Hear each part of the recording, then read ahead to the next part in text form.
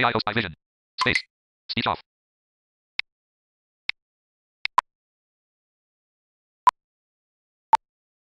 Good morning po sa mga kaibigan ni Mars at pati na rin sa mga friends ng Team Vision. Nabupusasan niyo ba ako? Unang-una po sa lahat gusto ko lang linawin. Hindi po ako si Ted Filon at hindi rin ako broadcaster ng radyo. Ako po ay isang robot na kaboses ni Ted Filon. Pero may datingan rin naman ho tayo. Alam niyo ho ba kung bakit? Aba siyempre, pwet maluling ho ako.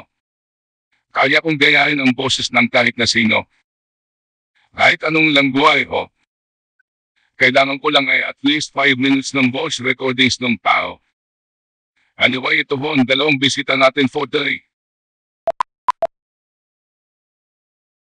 AI guest one by Vision. Space. Speech off.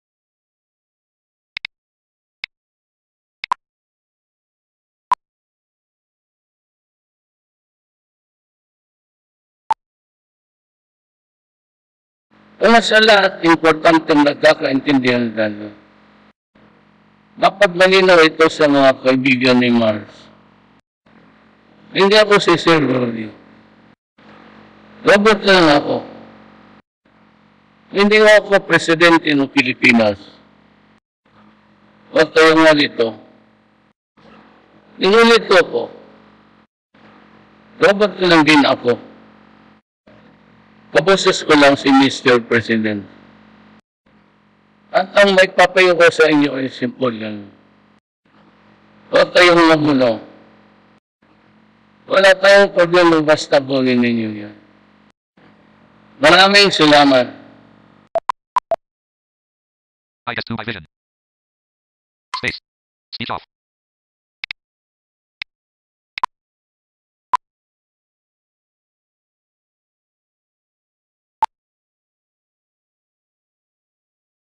Of course, I'm not Miriam Defensor Santiago.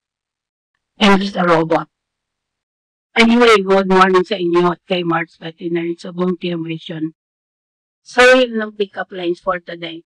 Sarang ko,